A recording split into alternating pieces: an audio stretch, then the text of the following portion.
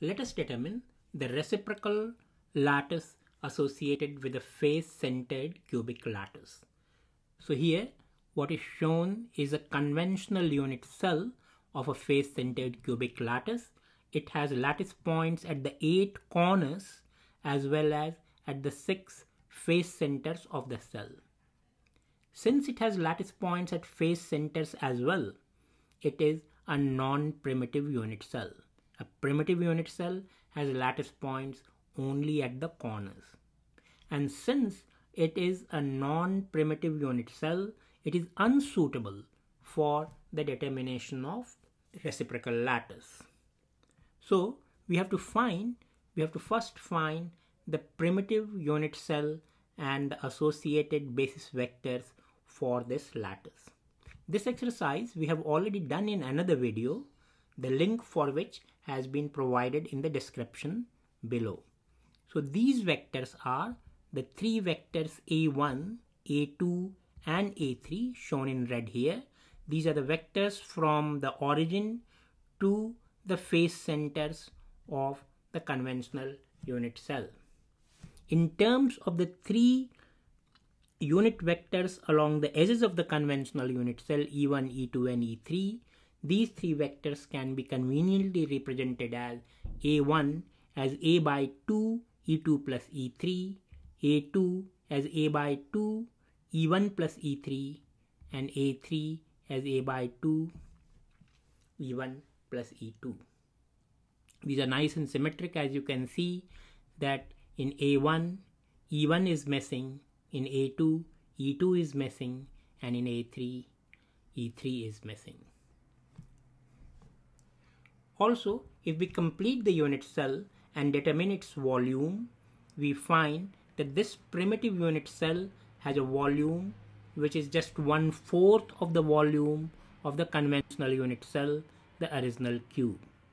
So the primitive unit cell volume Vp is a cube by 4. So these are the ingredients which, which is required for the construction of the reciprocal lattice vectors.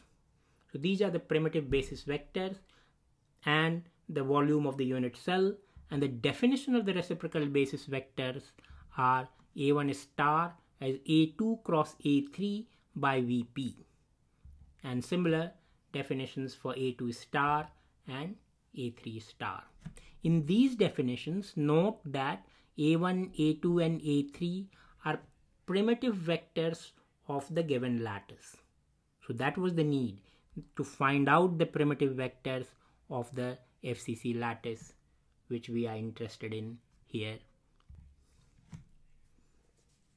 So we now have the three basis vectors of the primitive uh, lattice of the FCC and the unit cell volume and we have the definition of the reciprocal lattice vector. All we have to do now is to substitute these values in this formula to calculate A1 star. So we do this here 1 by Vp is 4 by A cube and we substitute for A2 and A3 in this cross product. Pause the video here, take your time, a minute or two to write this out and solve. Once you do that, you will find that it's a very, very simple expression 1 by A minus E1 plus E2 plus E3. So A1 star turns out to be 1 by A minus E1 plus E2 plus E3. Similar calculations if you do for A2 star and A3 star, you will find that A2 star is 1 by A E1 minus E2 plus E3 and A3 star is 1 by A E1 plus E2 minus E3. Again, these are very nice and symmetric expression and you can see that in A1 star, E1 is negative, in A2 star, E2 is negative and in A3 star, E3 is negative. So we have already constructed the reciprocal basis vector of the FCC lattice. The question now is what is the lattice which will be generated if we use these basis vectors to generate our lattice. By addition of these vectors and the multiples of these vectors, we will be able to construct the lattice. What that lattice looks like. To understand that, we have to look at a related lattice that is the body-centered cubic lattice. Now, the primitive unit cell vectors of a body-centered cubic lattice. The primitive unit cell is shown in the red here, the conventional unit cell in the black, and the primitive unit cell basis vector can be shown to be A1 as A by 2 minus E1 plus E2 plus E3 and similar expressions for A2 and A3. This exercise also we have done in another video, the link for which has been provided below. Now you can see that there is a nice comparison between the primitive vectors of a BCC lattice and the reciprocal basis vectors of the FCC lattice. In fact, the combinations of E1, E2, E3 is the same in the two expressions. Only the scale factor is different. So here it's A by 2, here it's 1 by A. So this means that the reciprocal basis vectors of an FCC lattice are actually parallel to the primitive basis vectors of a BCC lattice.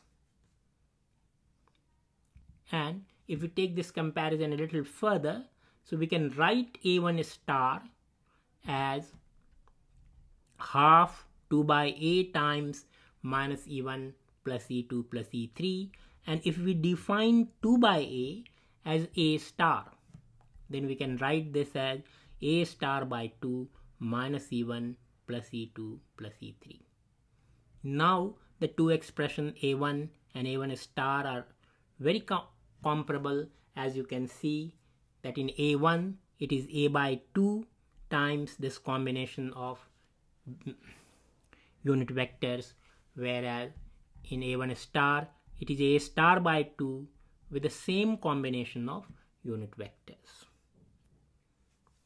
Now we know that this A1 on the left hand side is actually representing a BCC lattice of lattice parameter A.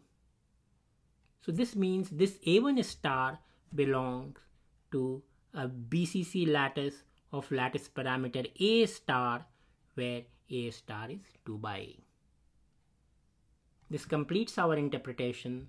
So we conclude that if the real lattice is an FCC lattice of lattice parameter A, its corresponding reciprocal lattice is a BCC lattice of lattice parameter 2 by A.